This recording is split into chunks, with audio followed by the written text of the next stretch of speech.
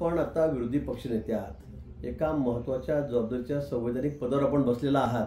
आपण काय बोलावं काय नाही याचं थोडं तारतम्य ठेवा.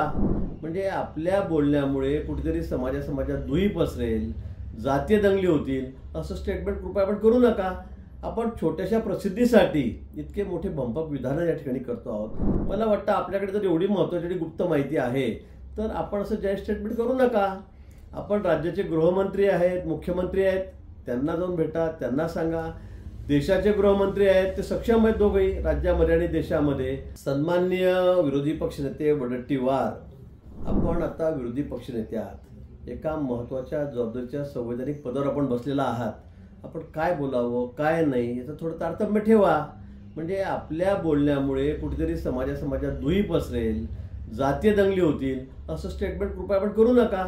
आपण छोट्याशा प्रसिद्धीसाठी इतके मोठे भंपक विधानं या ठिकाणी करतो आहोत.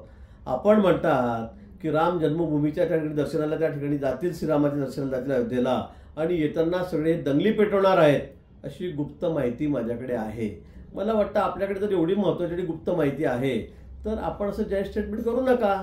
आपण राज्याचे गृहमंत्री आहेत मुख्यमंत्री आहेत त्यांना जाऊन भेटा त्यांना सांगा. देशाचे गृहमंत्री आहेत ते सक्षम आहेत दोघेही राज्यामध्ये आणि देशामध्ये. आपण त्यांना जाऊन सांगा अमित भाईंना जाऊन सांगा.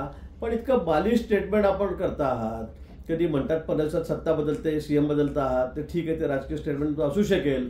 पण ज्यामुळे या राज्यामध्ये देशामध्ये कुठेतरी समाजा समाजामध्ये दुही होईल कुठेतरी जाती दंगली पसरतील असं स्टेटमेंट कृपया छोट्याशा प्रसिद्धीसाठी तरी आपण करू नका.